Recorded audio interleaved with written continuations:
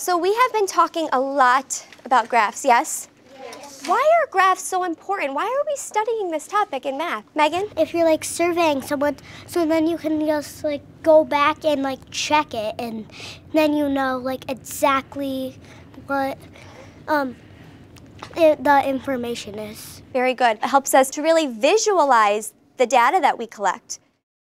When you look at the scale here, what do you notice it's going up by? What is our scale going up by? Going up by one. By ones. What sport was chosen the least amount of times? Matthew. Football.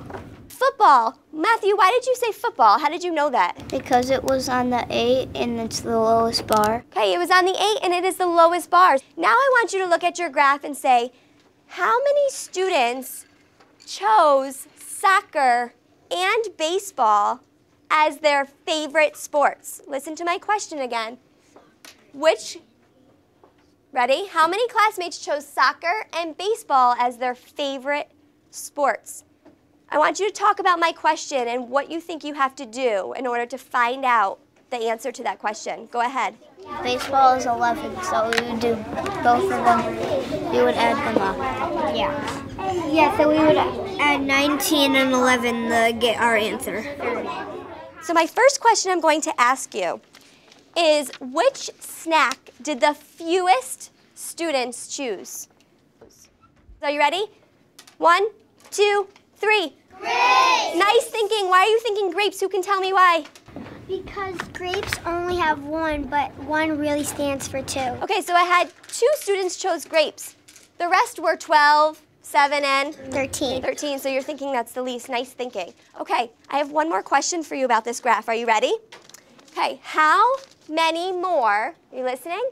How many more students chose apples than popcorn? Go ahead and do that on your board. I'll say it one more time. How many more children chose apples than popcorn? I'd like you to now find out. Are you ready? This is a challenge one. I want you to find out how many students they surveyed in all for this particular graph. I really wanted them to not only be able to do the addition subtraction, but to understand what the question was really asking them and what their graph was really telling them.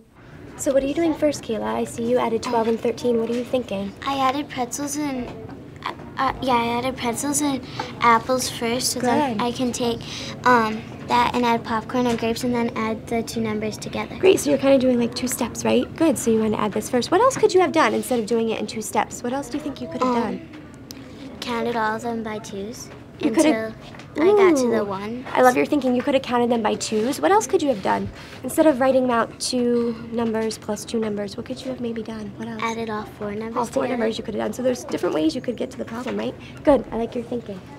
I put up another graph for them to look at, and on their whiteboards, they answered some questions I had about the graph so I could see who really understood how to interpret the graph and who um, might need extra support in the future.